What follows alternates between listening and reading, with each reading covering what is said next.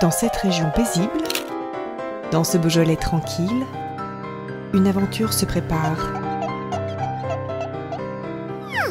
80 jours dans le Beaujolais, je pars le 4 juillet, je reviens le 22 septembre. Enfin, ça y est, maintenant, euh, je, ne peux plus reculer. Oh, c'est Noël, j'ai reçu mon cadeau.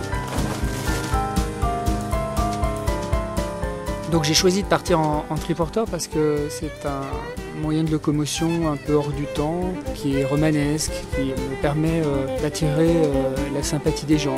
Et puis c'est écologique aussi, c'est un moyen de locomotion qui est en, parfaite harmonie avec l'époque d'aujourd'hui.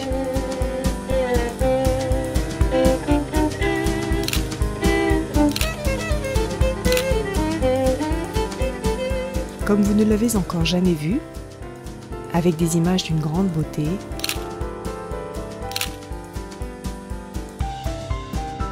des scènes inédites, des personnages attachants.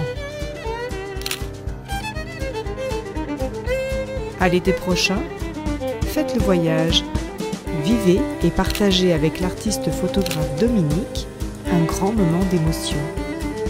Sur son triporteur, Armé de son appareil photo, il sillonne pour vous le Beaujolais.